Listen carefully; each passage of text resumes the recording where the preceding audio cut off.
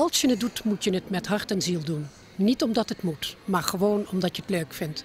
Want dat is het allerbelangrijkste. Ik vind het leuk en ik zeg altijd op het moment dat ik het niet meer leuk vind, hou ik er acuut mee op, laat ik alles vallen.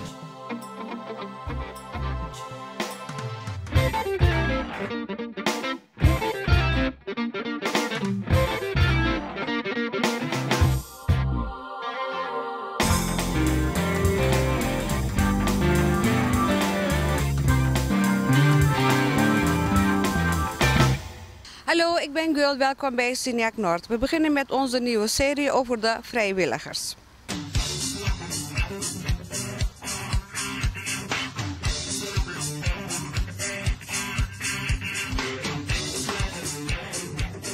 Signac Noord begint een nieuwe serie en die gaat over vrijwilligers.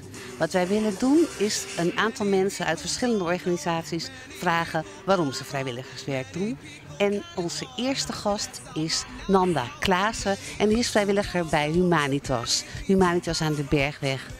Dag Nanda, waarom doe jij vrijwilligerswerk? Ik vind het leuk om te doen, want ik kan nog lang genoeg alleen thuis zitten. En ik vind onder mensen zijn en bezig zijn, vind ik gewoon heel leuk.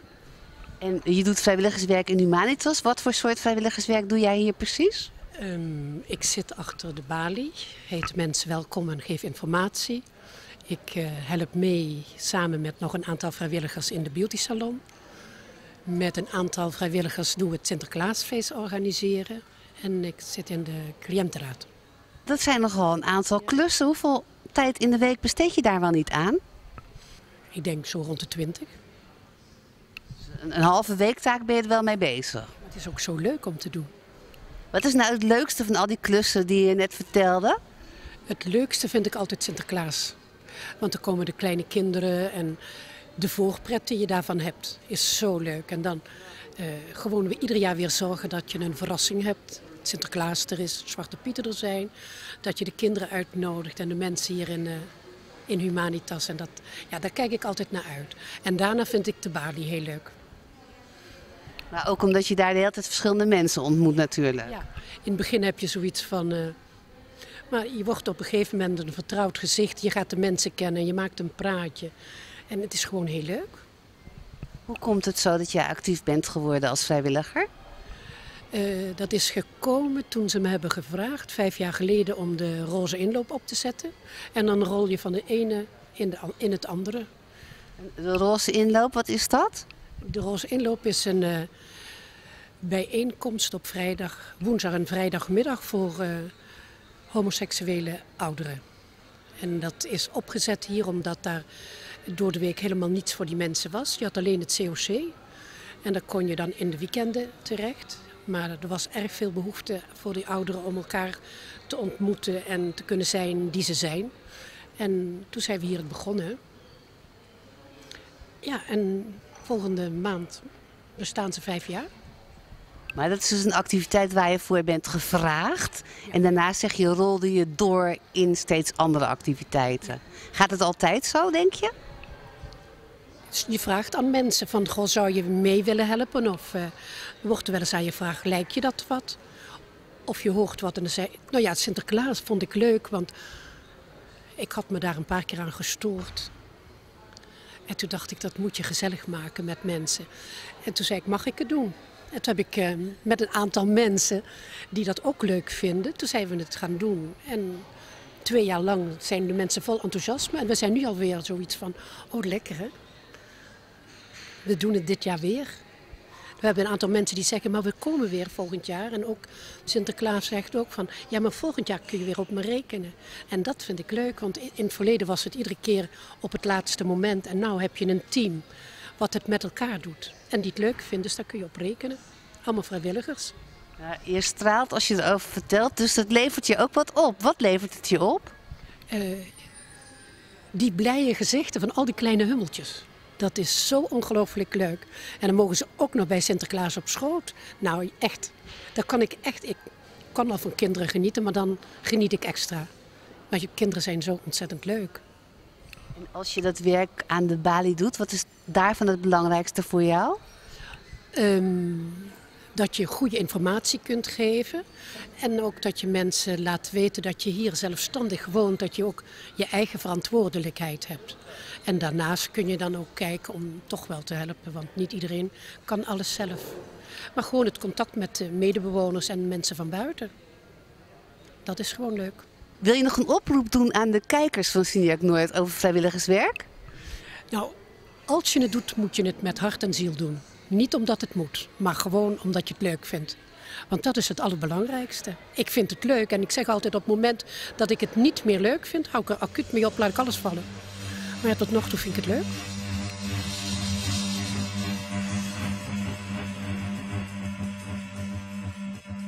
De Hollanders eh, die zijn nooit zo druk met die muziek. Maar ik vind het wel leuk. Heeft u ook contact met andere culturen? Nou, nog niet zo. Nee, nog niet. Nee, ik zie het. Wilt u, wilt u dat wel? eh, ja, als het mijn leeftijd is, als het mensen mijn leeftijd is, vind ik het wel leuk. Vogels in de Noordzingen.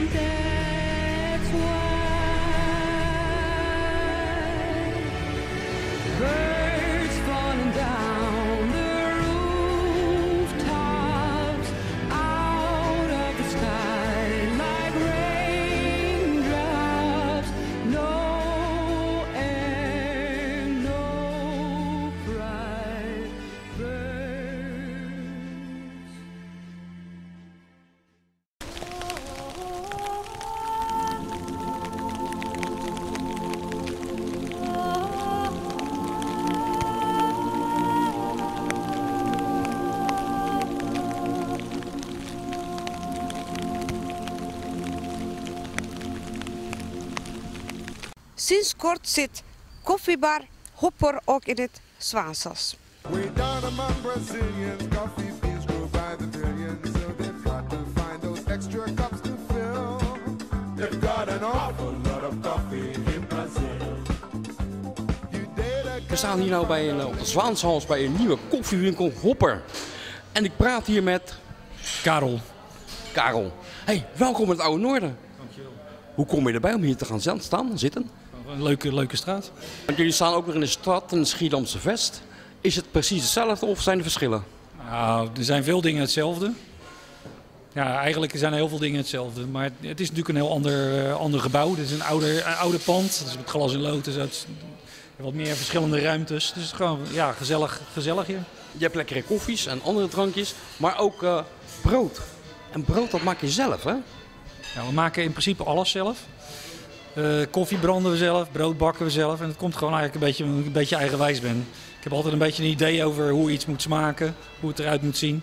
En dan ja, als je het in moet kopen, werk je eigenlijk met een product van iemand anders. En dat, dat is niet wat we willen. We willen gewoon, eh, of, je, of je het lekker vindt, dat kunnen we over discussiëren. Maar als je het lekker vindt, kan je het alleen bij ons zo krijgen. Oké, want dat, branden doe je het echt hier of ergens anders? Nee, hier- we branden hier achter. Kijk, dus achter staat de koffiebrander. En eh, ja, eigenlijk al een tijdje. We zijn nu dan pas open, maar branden doe ik hier al meer dan een half jaar. In Oude Noorden. Er zijn ook wel meerdere koffiewinkels hier bijgekomen. Maar hoe komt het dan eens dat er heel veel koffiewinkels komen? Of koffiebranderijtjes? Geen idee. Ik heb geen idee. Je leest het in de kranten. De koffie is een hype in, in Nederland. Maar ja, de koffie komt niet hier vandaan. Koffie komt eh, niet, zeker niet uit Nederland. Dat komt allemaal eh, eigenlijk van rond Evenaar. En dan natuurlijk eh, over verschillende plekken van de wereld. Maar de kunst is gewoon om koffie naar een beetje naar ja, beter niveau te tillen. Is gewoon, ja, moet je aan heel veel dingen tegelijk werken. Weet je? Het zijn allemaal kleine dingetjes waar je aan moet denken. Koffie moet heel vers zijn. Je moet het vers malen, vers gebrand. Eh, ja, zit, op dit moment eh, zijn er nieuwe oogsten binnen aan het komen. Dus dat is ook al belangrijk. Oogst van vorig jaar wil je al niet meer. Dus eigenlijk om die kleine beetjes extra, dat is, dat is eigenlijk wat het moeilijk maakt. Dus met, met hardlopen. Iedereen kan een klein beetje hardlopen, maar om een beetje beter te zijn moet je heel veel meer trainen. Ja, en dat is eigenlijk met, met dit soort dingen precies hetzelfde. Oké, maar hoe weet je nou eigenlijk van, ja, dat zijn goede bonen en dat weer niet? Ja, dat proeven. Je krijgt eh, vanuit eh, van, ja, verschillende landen krijg je samples opgestuurd. Dus eh, ja, op 100 gram ga je. En dat, dat brand je in een klein brandertje. En dan ga je proeven. En aan de hand daarvan moet je gewoon een, eh, ja, een hele pallet kopen of, eh, of nog veel meer. Dat is natuurlijk wel een beetje spannend altijd. Maar naarmate je meer ervaring in krijgt, wordt dat eh, makkelijker. Het koffiebranden zelf, hoe doe je dat? Leer je het uit een boekje of ga je naar een school?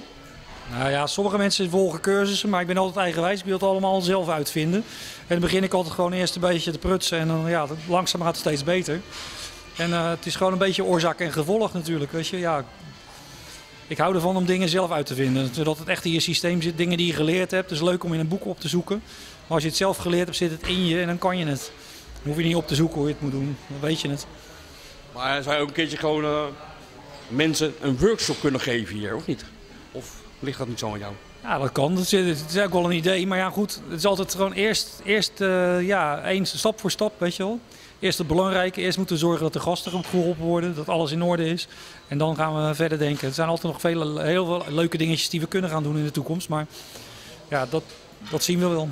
Ik denk dat we zeker een bijdrage kunnen gaan leveren. Want ja, mensen kunnen nu lekker ergens afspreken om wat eh, te eten en te drinken. En ja, ik denk dat het Zwaansbos er toch nog weer een klein stukje gezelliger op kan gaan worden.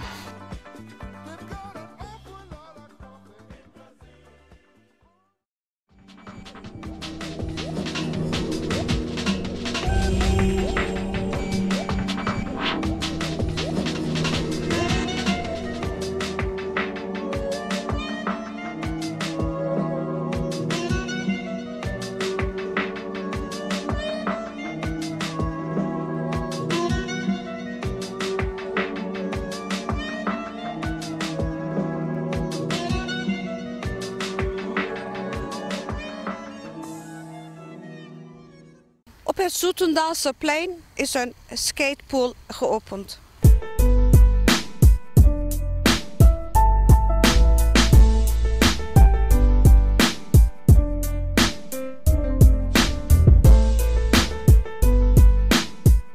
Deze wedstrijd is ten ere van eh, de opening van eh, de skatespool hier in het Soetendaalseplein. En eh, we dachten het is een leuke dagactiviteit in de vakantie voor kinderen. En eh, is het nou een skatepark of niet? Het is een eh, skatepool, dat is een eh, specifiek onderdeel van een skatepark. Ehm, het doet in feite, bo- bood je daarmee het, het skaten van lege zwembaden, doe je daarmee na, maar dan op een veilige manier. En waarom hebben jullie voor deze locatie gekozen? Eh, er, er werd hier in de buurt werd, eh, veel nieuwbouw gedaan en we wilden dit eh, stimuleren door ehm, iets voor de jongeren neer te zetten. En voor wie is het skatepark bedoeld? Voor iedereen van 4 tot en met 100 jaar. Iedereen die kan, die, die kan, die, die, kan en wil, mag er gebruik van maken. Dat is wel heel breed, hè? Ja, ja zeker. En wat is nou het doel van zo'n park?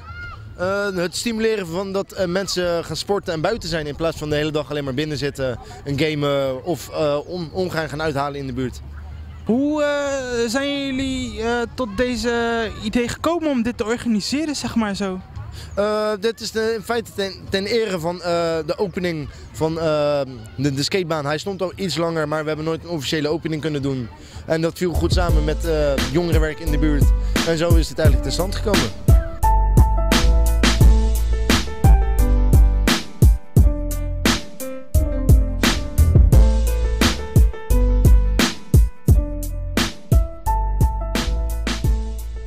Nou, dat was het weer. Vergeet niet op onze website, Facebook, Twitter, YouTube te kijken. Bedankt voor het kijken. Tot de volgende keer.